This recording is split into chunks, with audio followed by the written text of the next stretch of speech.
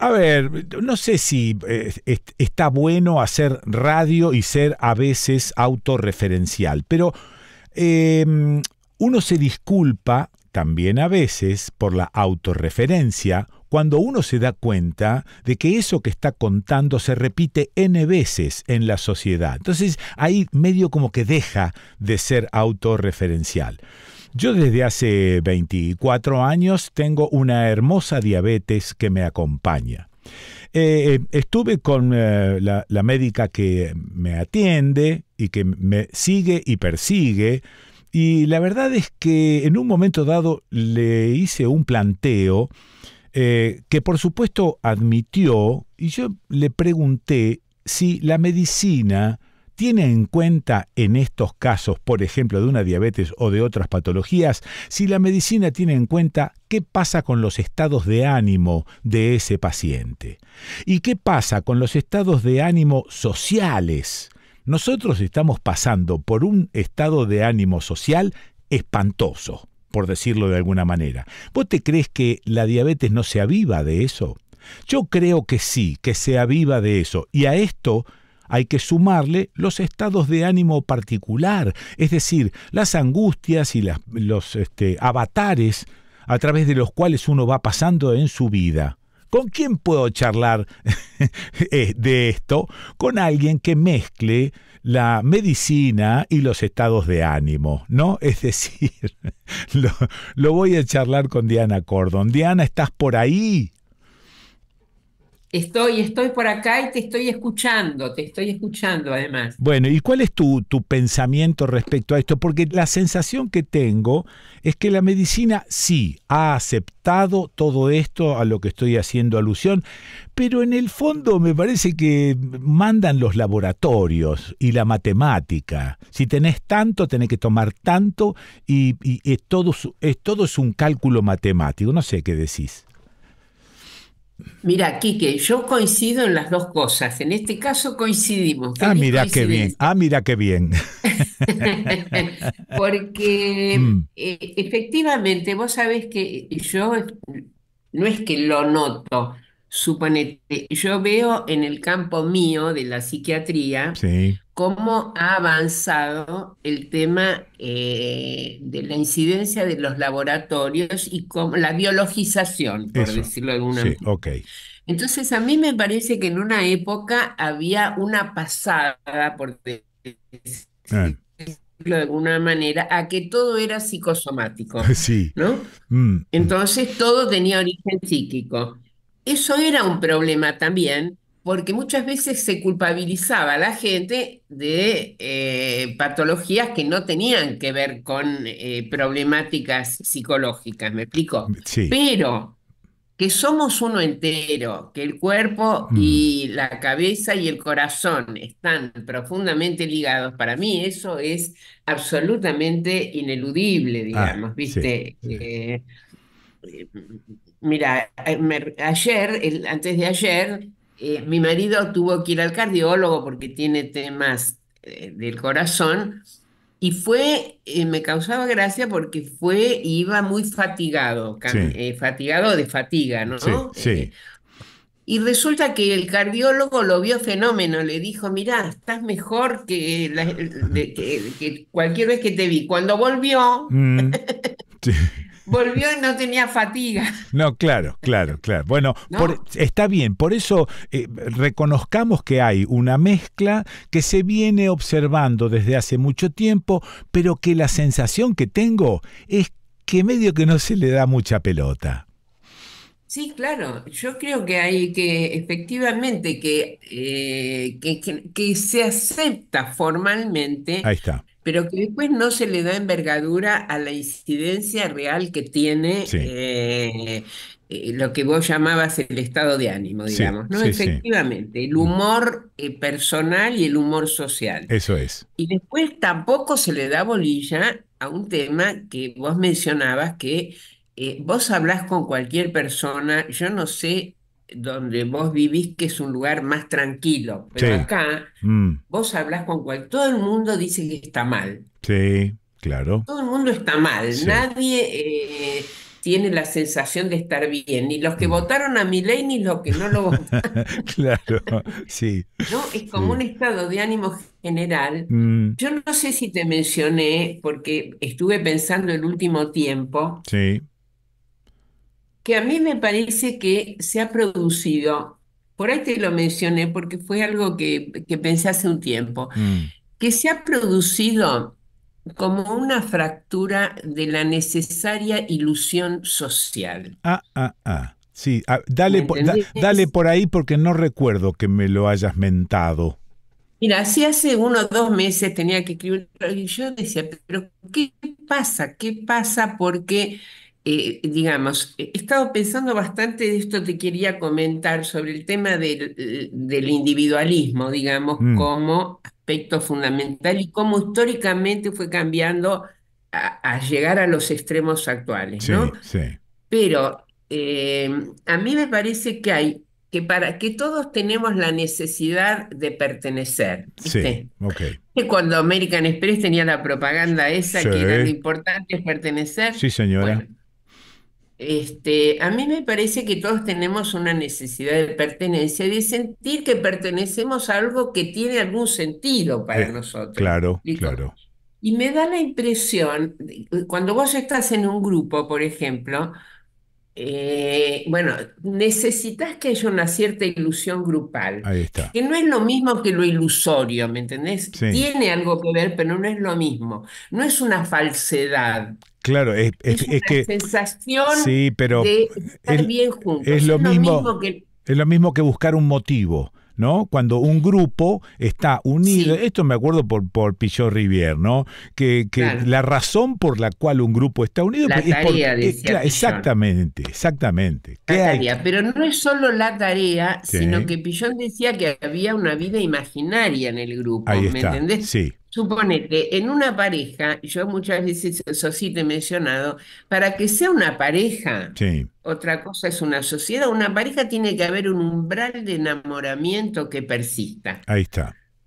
Bueno, ese umbral de enamoramiento es lo que yo creo que en un grupo se llama ilusión grupal ah. y que yo le puse fantaseadamente el nombre de ilusión social. es decir, sí estemos enamorados de pertenecer al grupo que pertenecemos, a la sociedad que pertenecemos.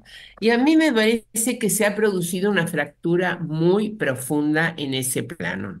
Mm. Que la ilusión social se ha roto, se ha fragmentado, y que entonces el sentimiento de pertenencia, que es un aspecto muy importante de la identidad personal, está afectado. Ajá. Bueno, pero esto, esto, no, esto no es nuevo ni es este producto de mi ley. Esto venimos arrastrando una falta de pertenencia, yo creo que desde la colonia. sí. Mira, yo no sé si desde la colonia, no sé, ahí yo tendría, porque por ejemplo yo creo que hemos tenido las luchas emancipatorias, sí. que creo que sí tiene larga data, digamos, ah, ¿no? Eh, y me parece, suponete, incluso más allá de las opiniones que podamos tener sobre el peronismo, sí. Eh, en la época de Perón había por lo menos una pertenencia, claro, claro, claro. Que, no, que se sentía en, realización, por decirlo de alguna manera. Sí, sí. Involucrado este, y perteneciente a un grupo determinado, pero un grupo gigantesco. Claro, sí, sí, por eso te digo que sería como una ilusión social, como una la pertenencia social. Eso es. Y a mí me parece que eso está profundamente afectado, pero vos me decís desde la colonia, yo te digo, yo creo, mm. mira, estaba leyendo la vez pasada algo que esto me pareció muy novedoso. Eh, por ahí también te lo nombré porque lo, estuve leyendo ahora a mm. Eric Sadem. Sí, sí, lo este, nombraste, sí. Sí, entonces, él plantea algo muy interesante que es esto. Él dice, con la Revolución Francesa mm. y la sacrosanta propiedad privada, sí. se suponía el mito, digamos, o la creencia que se armaba era que sobre la base del desarrollo de esa burguesía, sí. el bien común se iba a resolver. Con la Revolución Francesa, la burguesía que se va a desarrollar, porque la, es libertad, fraternidad, igualdad, más propiedad privada, ¿no? Correcto. la Revolución Francesa. Sí. Entonces, que con ese desarrollo de la burguesía eh, se iba a lograr el bien común. ¿Me Ajá, explico? sí. Es decir, que una defensa de la burguesía en función del bien común. Entendí. A partir de la ruptura de la cultura de la modernidad y con la posmodernidad y con el apoyo de la revolución científico-tecnológica, ¿qué se va produciendo? Que va desapareciendo el aspecto colectivo que se formula, el bien común Sí. se va la miércoles Sí. y lo que va importando es el yo de cada uno. Eso es. Sí. Y entonces eh, el tipo plantea, eso fue lo que me sorprendió. Él decía que, por ejemplo, el iPhone, el iPad, el i Sí. es pronombre de primera persona en inglés. Ah. Bien. Sí. Entonces se pasa a cada sujeto en el yo. Y después Mm. viene la época del YouTube, el you, el Sí, you, el sí, you, sí. la segunda persona, que sería el tú puedes. Y se Claro. acabó la idea de lo colectivo. Mm. Agregale a esto, si vos querés, la caída del muro de Berlín. Sí. Por eso digo, con las opiniones que se puedan tener sobre el proceso en ese llamado socialismo real, pero cae una formación que de alguna manera en la, en los ideales aparecía como colectivista. Ahora, este proceso al que estás haciendo alusión, ¿fue producto de, un plan? ¿Fue producto de la casualidad? ¿Se produjo porque sí? Porque obviamente nos quieren, y a veces pe- pensamos eh, medio, medio raro, pero nos quieren aislados, nos quieren en el hay. ¿No? Claro, y y claro, así, y así estamos, ¿no? Ese proceso de destrucción de lo colectivo. Ahora pregunto, ¿esto es parte de, de un plan, de una política, o sucede porque sí? No, yo sinceramente, no, ¿cómo voy a creer que sucede? Porque sí, basta con mirarlo a Elon Musk pa- como para Claro. darnos cuenta de que no, Sí. no sucede porque sí. Sí. Obviamente que siempre hay intereses económicos objetivos, si hay un, un problema que sobre esa, pero sobre esa base Sí. hay una disputa por la subjetividad Mm, eh, fenomenal, ¿me explico? Sí, Sobre sí. las ideas, sobre lo que en otro tiempo se decía la ideología, hay una disputa sobre cómo sentimos, cómo pensamos, nuestra subjetividad no está ajena a eso, ¿me explico? sí. Bien. El, eh, si vos tenés un modelo donde el modelo es el éxito, donde el modelo es eh, yo soy emprendedor, Sí. Bueno, después los sentimientos que vas a tener van a tener que ver con el fracaso de que no pudiste ser un emprendedor Eso. exitoso como Sí, si vos pudieras sí, Sí. etcétera, etcétera. Entonces a mí me da la impresión de que tenemos, estamos en un momento, yo quiero pensarlo, eh, que ahí es donde nosotros tenemos alguna diferencia, pero también reconozco que es una ilusión que tengo, que es un periodo transicional. Claro, claro, claro. Eh, Sí, sí. digamos, como ha tenido periodos de oscurantismo en la historia de la humanidad, pero es, eh, nadie sí. garantiza nada, que, que- que- qué sé yo, sí. nadie garantiza nada. Lo que es cierto es que Mm. estamos en un periodo oscuro, Sí. un Pero periodo oscuro. bueno, volvemos al principio y convenimos que hay todo un proceso eh, de, de sensación y de sentimientos que tiene que ver con la sociedad, que se le suma lo que le pasa a cada uno de nosotros en el plano particular para incidir sobre algunas patologías. Y eso es- lo Sí. tenemos que tener en cuenta. Y mirá, pero además no solo sobre, por ejemplo, uno se tiene que preguntar, por ejemplo, los trastornos de la alimentación. Sí, que traen un montón de problemas hoy en día. Sí. Bueno, tienen que ver directamente con este malestar y con la necesidad de responder a modelos estéticos eso que es. te enchufan todos los días, por ejemplo. Entonces, sí. bueno, tenés una problemática ahí muy grande. El tema de la diabetes, yo me canso de ver gente, no, Mm. no me canso, Mm, veo sí. muchísima gente Mm, que tiene una diabetes eh, insulino dependiente o no insulino dependiente, pero que los picos de diabetes tienen que ver Sí, con cuestiones bien, en las bien. cuales también el tema del estado de ánimo está Muy bien, presente. muy bien. Muy bien, gracias. Gracias como siempre. Eh, te Bueno, ¿no? hoy, pero hoy coincidimos mucho. No me gusta nada esto. Muchísimo. Sí, sí. No me gusta nada esto. Te mando un beso gigante. Yo también, Quique, un beso grande. ¿eh? Chau, chau. Chau, chau. Bueno, la escuchaste a Diana Cordon. ¿Y dónde la escuchaste a Diana Cordon? ¿Dónde la vas a escuchar? La escuchaste en el desconcierto